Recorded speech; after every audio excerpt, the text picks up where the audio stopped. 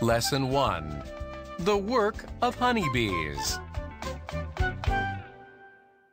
Honeybees live and work together in a hive. They have different jobs. There is a queen, workers, and drones. The queen bee is the biggest. Only one queen bee lives in a hive. Her job is to lay eggs so new honeybees can be born. She lays about 2,000 eggs a day during the spring.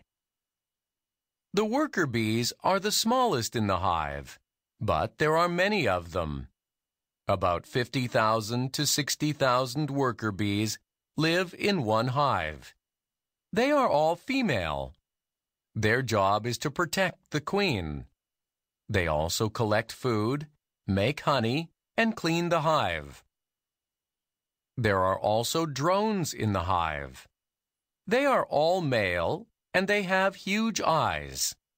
Their job is to mate with the queen bee. They don't even collect food. When there isn't enough food in winter, they are sometimes kicked out. The queen, workers, and drones all do their best in a hive. In this way, their hive can grow and stay strong.